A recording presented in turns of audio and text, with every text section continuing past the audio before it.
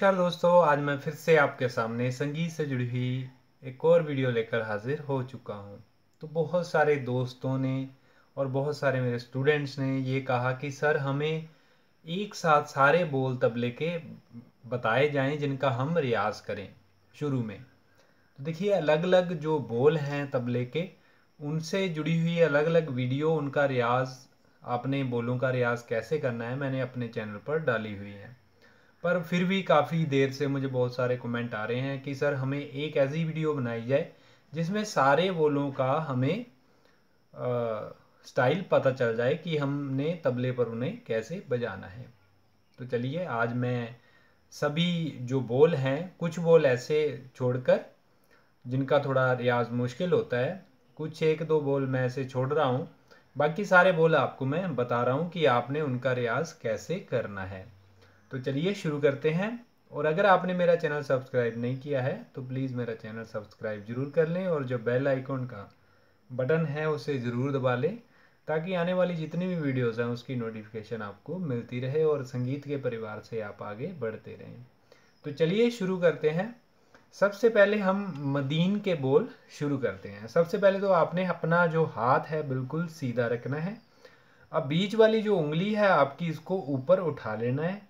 अब साइड पर, जिसे हम चांटी कहते हैं, यहाँ पर आपने ना बजाना है। ना कैसे बजाना है आपने? फ़र्स्ट हमारा जो वर्ण है और बोल है, वो है ना।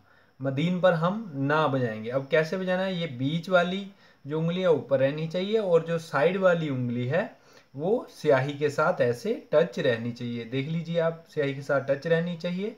अब आपने प्रहार करना है चांटी पर, बिल्कुल साइड में। यहाँ पर तो ना बजाना है।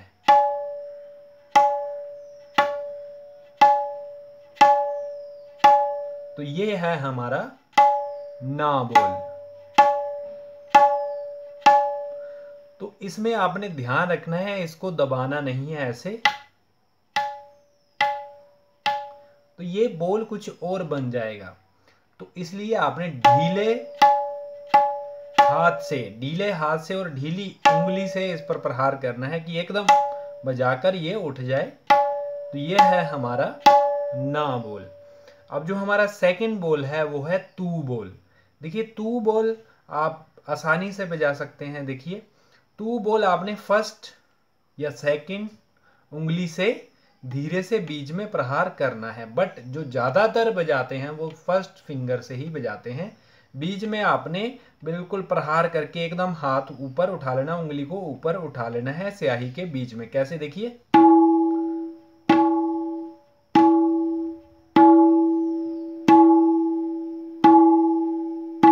ध्यान रखना है, कोई भी उंगली टच नहीं करनी चाहिए। अगर टच करेगी तो ऐसा बनेगा ये।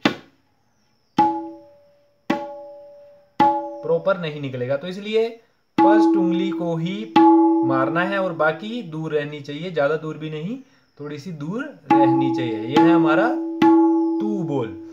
अब आपने बजाना है यहाँ पर तीट बोल। अब तीट कैसे बजाना है? देखिए, आपने तीट दो तरह से बजा सकते हैं आप। एक उल्टा भी होता है, एक सीधा भी होता है। और इसमें उंगलियों का भी स्टाइल अलग अलग होता है। देखिए, तीट पहले आपने कैसे बजाना है? दो उंगलियाँ, सेकंड और थर्ड को ती, फिर फ़र्स्ट उंगली से ट, टी ट टी, ट। ये है फ़र्स्ट तिट कैसे बजाना है आपने, इसका स्टाइल सेकंड इसको उल्टा कर देना है, टी, ट टी ट टी, ट। ये भी तीट है। अब देखिए, एक और स्टाइल है जिसमें सेकंड फिंगर से तिट स्टार्ट करते हैं। टी, ट टी, ट। अब ऐसे ही उल्टा कर दीजिए आप। टी, ट टी, ट। तो ये है हमारा बोल तीट अगर आपके मन में कोई भी कन्फ्यूज़न है तो आप मुझे मैसेज कर सकते हैं। तो मैं उस कन्फ्यूज़न को दूर करने के लिए अपनी तरफ़ से पूरी कोशिश करूँगा। तो यह है तिट आगे चलते हैं। तो आगे आपने बोल बजाना है तिन अब तीन देखिए, ये थोड़ा सा मुश्किल बोल है, जो पहले शुरू करते हैं तबला जिन्होंने शुरू किया है, उनके लिए थोड़ा सा मुश्किल होता है, पर हो जाता है धीरे धीरे प्रैक्टिस करने से। अब देखिए तीन बोल आपने, ये जो हमारा मैदान है चांटी के अंदर, स्याही और चांटी बाहर के हिस्से के बीच में। ये है मैदान। इसके ऊपर आपने ढीली उंगली से तीन बजाना है। देखिए, तिन और ना में बहुत अंतर है। तिन तिन, ना तिन, ना। तो इसलिए तिन अलग होना चाहिए। तिन तिन, ना तिन, ना।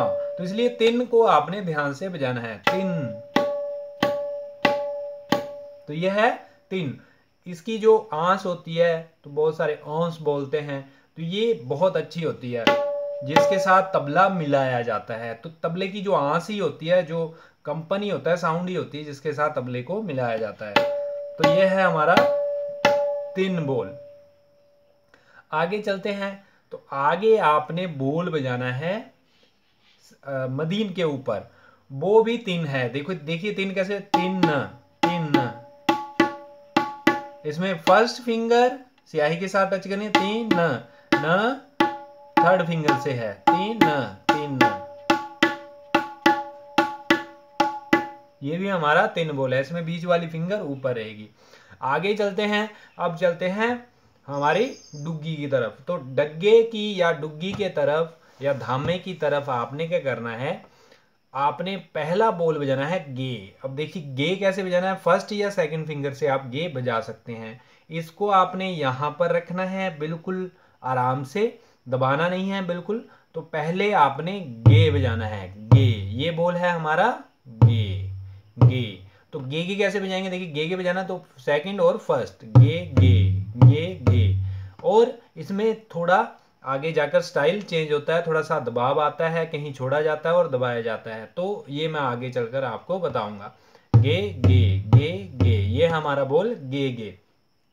अब आपने देखिए जो बोल बजाने हैं, वो दोनों तरफ़ आपने इकट्ठे बजाने हैं, वो बोल हैं। पहले आप देख लीजिए, धामे का एक और बोल है, क क क क। ये ऐसे भी बजाया जाता है, क। तो ये है क बोल। क क। तो चलिए, अब मैं आगे आपको बोल बता रहा हूँ जो इकट्ठे हैं। देखिए, ना और गे को अगर आप इकट्ठा कर दे तो ये धा बोल बनेगा। कैसे देखिए? धा।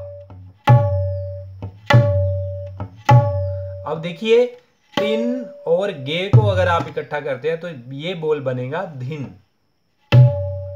धिन धिन। तो ये बोल बन गया धिन। और अगर आप टू और गे को मिलाएँगे तो ये धू बोल बन जाएगा। धू। धू। तो ये धू बोल बन जाएगा। अब आगे देखिए, अगर आप ती और ती और गे को मिला दे तो ये धी बन जाएगा। जैसे टीट टीट को ऐड करेंगे तो ये गे को टी की जगह ऐड करें तो क्या बनेगा? धिट। धिट। धिट। तो ये है हमारा अब देखिए कुछ और बोल हैं जैसे टी ट। अब देखिए टी ट और टी ट। अगर ऐसे बजाएँ तो ये टीट टीट बनता है। टीट टीट तो यही हमारा बोल तिर किट है। तीर कीट तीर कीट तीर कीट तो ये बोल है तीट किट तीर किट ये बोल आगे चलकर जब आप इसको स्पीड में बजा दे तीर किट तीर किट तो ये तीर किट बोल बन जाता है। वैसे ये तीट कीट बोल होता है। तो कुछ और बोल ऐसे हैं, जैसे धीर धीर धूना धूना, कत्ता। तो ये बोल जब आप इकट्ठे बजाएँगे तो इनका स्टाइल भी थोड़ा सा अलग अलग होता है। मैंने आज आपको सिंपल एक एक करके सारे बोल बता दिए। अगर कोई और बोल के बारे में अगर आप जानना चाहते कोई एडवांस बोल है तो आप मुझे मैसेज कर सकते हैं। और अगर आपके मन में कोई भी कंफ्यूजन है तो आप वो भी मैसेज कर दे। तो मैं अपनी तरफ़ से पूरी कोशिश करूँगा कि आपको उसका जो सोल्यूशन है वो बता सकूँ। और ये जो मेरा चैनल है ये सभी के लिए है ये उन लोगों के लिए भी है ये उन स्टूडेंट्स के लिए भी है जो आ, अच्छा संगीत सीखना चाहते हैं और जिनके पास या तो पैसे की कमी है और ट्यूशन वर्क नहीं ट्यूशन अटेंड नहीं कर सकते या पैसे नहीं होते तो ये वीडियो देखकर आप, आपको एक रास्ता मिल सकता है, एक अच्छे ढंग से आप रियाज कर सकते हैं। तो इसलिए आगे से, आगे आप जितनी वीडियो शेयर कर सकते हैं, ज़रूर करें। ये मेरी जो बिल्कुल मैं आपको सेवा दे रहा हूँ, बिल्कुल फ्री है तो आप आगे से आगे शेयर करें। तो आज के लिए दोस्तों इतना ही।